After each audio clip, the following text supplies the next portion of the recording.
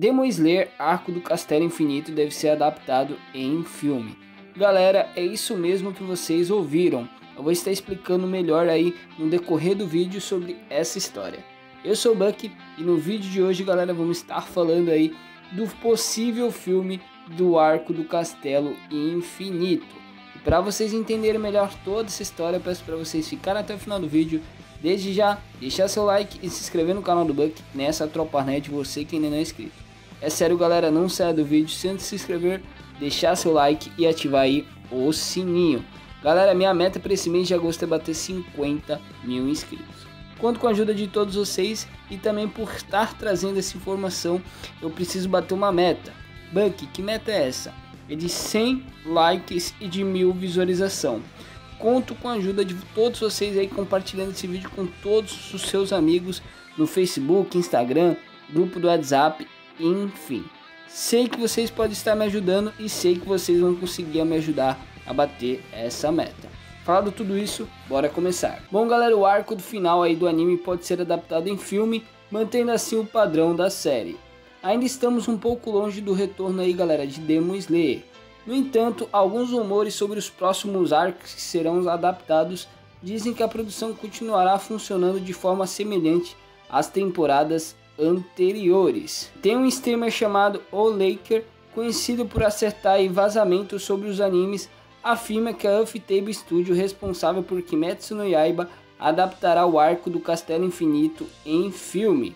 Esse arco, galera, é o mais longo do mangá e é dividido em duas partes. A primeira parte é chamada de Castelo do Infinito e aborda a luta dos caçadores contra as luas superiores e também Muzan, enquanto a segunda parte se chama A Contagem para o Nascer do Sol e aborda os momentos finais da luta contra Muzan. Ainda não sabemos se Demon Slayer seguirá a mesma fórmula para as próximas temporadas, na qual o filme adaptava o início de um arco e o restante era exibido em um formato aí episódico, ou até mesmo um arco completo, como um longa-metragem do Trem Infinito, que foi um sucesso mundial e arrecadou aí mais de 450 milhões de euros ao redor do globo. Então, simplificando para vocês, galera, o que pode estar acontecendo. Como sabemos, a quarta temporada é o arco aí do treinamento dos Hashiras. E como eu disse para vocês, no máximo de episódio aí que eles podem estar estendendo esse arco é três episódios. E o que pode estar acontecendo, galera? Estamos aí nos três últimos arcos. Buck, que arco é esse? O arco de treinamento do Hashira, o arco aí do Castelo do Infinito e o arco para a contagem do nascer do Sol. E também tem aquela questão final também que sabemos quem viu até o final de Demon Slayer, mas não vou entrar no caso agora. Mas vamos lá, o que pode estar acontecendo? Eu acredito, galera, que no caso, esse arco do treinamento do Hashira, obviamente, vai ser transmitido em episódios. O primeiro Split Core, tendo o segundo Split Core, aí o arco do Castelo do Infinito e depois um filme aí da contagem para o nascer do Sol eu acredito que seja muito mais lógico eles fazerem isso. Porque assim, digamos que vamos ver, entre aspas, o final de Demon Slayer no cinema. Porque Demon Slayer, galera, a primeira temporada ela fez muito sucesso. Mas ela fez mais sucesso ainda depois aí do filme de Kinjuro Rengoku. Porque no caso o filme adapta praticamente ele todo e Demon Slayer ficou conhecido mundialmente. Não só aí por toda a sua história, mas também porque o Juro Rengoku.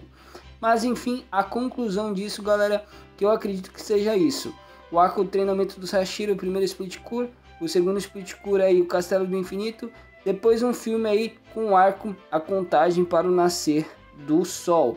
E depois do filme eles podem estar fazendo de forma em episódios esse aí A Contagem para o Nascer do Sol, só para encerrar o anime, como eles fizeram também com aí o filme do trem infinito. Galera, nos comentários você comenta para mim duas coisas. Qual é o seu personagem favorito? E também se você prefere assistir aí o final de Demon Slayer na sua casa ou no cinema. Para mim, galera, seria épico assistir o final de Demon Slayer no cinema e seria muito, muito bom. E comenta para mim o que vocês acharam aí dessa ideia que eles tiveram de finalizar possivelmente, né, é, o filme Demon Slayer nos cinemas. Beleza? Galera, eu sou o Buck e eu vou ficando por aqui. Agradeço a todos vocês e como vocês já sabem, até o próximo vídeo e tchau, tchau.